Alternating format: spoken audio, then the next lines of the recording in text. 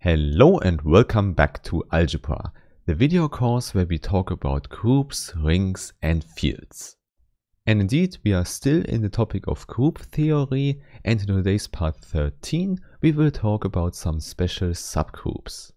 More precisely, we will talk about a relation we can have between subgroups and it's called conjugate subgroups.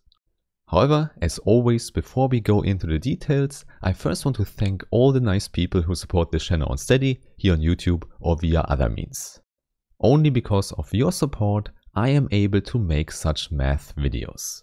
And as a thank you, you find additional material with the link in the description. Okay, then let's immediately start with the general picture, which explains that a group homomorphism transports subgroups.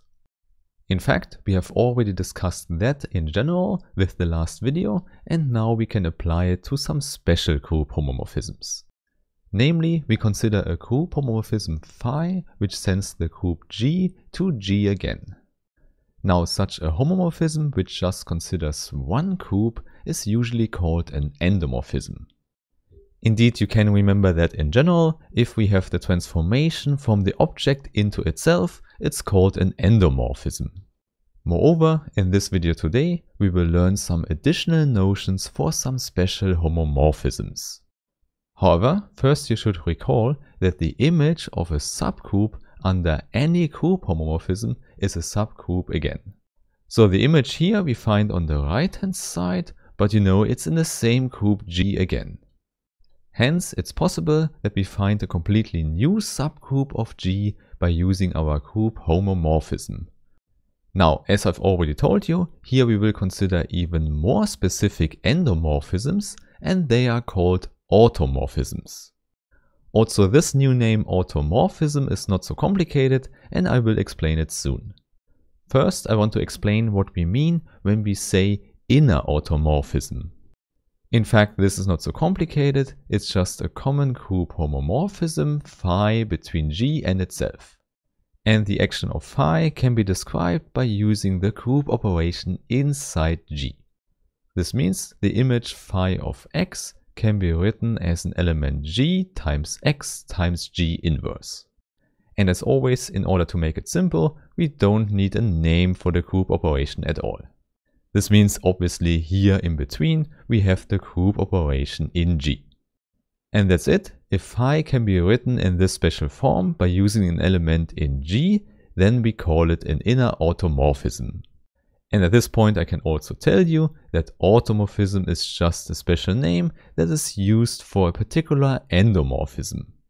More concretely, it's an endomorphism that is also an isomorphism. And the term isomorphism you might have heard before because it's simply a homomorphism in both directions. Indeed, this is important to remember. If someone says isomorphism, they mean a bijective map that is a homomorphism in both directions. And now only the last part in the name remains to explain. We say inner if this automorphism is represented by an element in G. So one could say it's represented by an inner element. Indeed, if you give me this element G, I can construct the whole homomorphism phi. And this is the reason why these automorphisms are so important, because we can use everything we know for the maps inside the group G itself. So for example, we already know that if we have a subgroup U in G, then we can form the preimage and the image of U under phi. And now both things are definitely subgroups in G again. And now by using the definition of phi, we see that these subgroups are related to our original subgroup U by using the element G. And exactly this relation we can have for subgroups leads to the following definition. There we just consider any two subgroups U and V in G. And now we call them conjugate subgroups if they are associated to such an inner automorphism as before. Hence more concretely, we need the existence of an element G in the group capital G such that V can be written as G times U times G inverse. So again, we don't use any symbol to denote our group operation. However, we use this short notation here, which just stands for the whole set constructed with the operation from before. Indeed, such notations are used a lot to denote subsets in the group G. And usually the notation is self-explanatory, just substitute the set in the symbol by an element of it. And then just go through all possible instances and then you get the whole new set out. And there you should also recognize that this is exactly the image of u under phi if we define phi in that way. So regarding to an inner automorphism, the one subgroup is the image of the other. Obviously you can also change the order by using the inverse of G. Hence it's a symmetric relation and we can just say these are conjugate subgroups to each other. Moreover, it's not hard to show that besides the symmetric property, we also have a reflexive property and a transitive one. And with that you can already see that the term conjugate subgroup defines a whole equivalence relation on the set of subgroups of G. Indeed, there I would say this is a good exercise. Please check the three properties of an equivalence relation for yourself. Okay, and now one important implication of that is if we consider the set of subgroups of G, where each subgroup is represented by a circle, then we find a partition of this set. More precisely, we can put these elements that are given by subgroups into disjoint equivalence classes. So if you take a subgroup U, it belongs exactly to one equivalence class. And you know, usually we use brackets to denote an equivalence class for a given element. And now in this case of conjugate subgroups, such an equivalence class is really easy to describe. Namely, each conjugate subgroup can be described by such an element G, so we just go through all elements in the group. And that's it, you just take an arbitrary element G and you multiply it from the left hand side and the inverse from the right hand side. And with that, we get all the subgroups in the equivalence class. However, as you can see in the picture, we could definitely have more than just one equivalence class for a group G. In fact, we immediately see that the whole thing is trivial if we consider an abelian group G. There the commutativity simply destroys this construction here. By using the set notation, it's simply to see we can just exchange the order here in the middle and then we have G times G inverse, which is the identity element. Hence the only thing we get out here is U itself again. Therefore, for an abelian group, this equivalence class here only has one element, namely U. In other words, the nice term of conjugate subgroups does not help at all for abelian groups. Therefore, if we want to discuss an example, we should take one which is not commutative. This means the order should be not too small, and we already know one example, namely the symmetric group S3. So please recall part 7, where we have discussed the whole thing, and where we have also explained that we can see it as a permutation group on three elements. On the other hand, equivalently, we can also describe S3 with this rotation and a reflection operation. In this case, the six elements of our group can be written down, first the identity, then A, then B, then A squared, A times B, and B times A. And there I say it again, the group is not commutative, so AB is not equal to BA. And now it's really easy to show that E together with B form a subgroup. There you just have to know that doing the reflection twice, so B squared, is equal to the identity again. And with that we are ready to consider the conjugate subgroups of U. So for example, our element G could be given by A.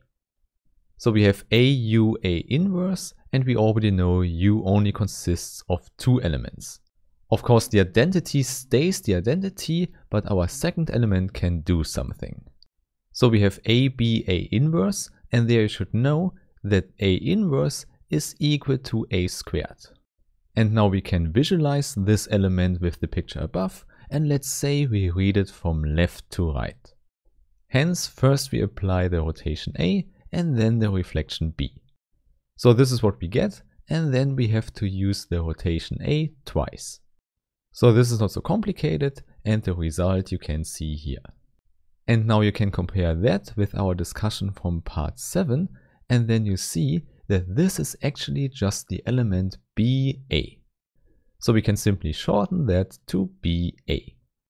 Therefore, our conjugate subgroup here is also a subgroup with two elements, but definitely not the same as U. Okay, but now we can also look at another conjugate subgroup. So instead of G, now let's use our element A squared. So obviously this looks really similar to before, but now we have to multiply with A squared on both sides. Or more precisely, on the right hand side, instead of the inverse of a squared, we can just use our a. You already know that, 3 times this rotation is the identity again. And there you can do a similar picture as before, and you see that this construction a squared ba is actually just ab. So again, we get another subgroup, and now it's EAB. Okay, and now you see we have two elements left, and for these we can also write down the conjugate subgroup. So first, let's use our element AB. This means in our set we find AB times B and then AB inverse. However, now it's not hard to check that AB is self-inverse, so the inverse of AB is AB again. And moreover, you should see in the middle we have B squared, which is equal to the identity. So what we actually have is just a squared times b. And similarly to before, we can do the calculation and we find out that this is actually BA. Alternatively, you can also conclude that from the equations we already have here. But most importantly, the result is that we get the same group as before. So by using the notation from before, different g's could lead to the same conjugate subgroup in the end. And then finally, let's take our element BA. And maybe there you can already guess the result. Indeed, everything is very similar to before, because also here we can use that the element BA is self-inverse. Moreover, also not hard to see, we have b squared in the middle again. So what remains is simply BA squared. And there please check that this is equal to AB. So also there, we don't get a new subgroup out. And now in order to make the list complete, we should also put in E and B. However, there you should just see that in both cases we just get out our original group U. And now you can count, we have exactly three conjugate subgroups to U. This means the equivalence class of U consists of three elements. Moreover, you can also recognize that all these subgroups are more or less similar because they only consist of the identity element and a self-inverse element. And exactly such a relation for conjugate subgroups we want to put in a general context. However, I would say this is something we can do with the next videos. So I really hope we meet again and have a nice day. Bye bye.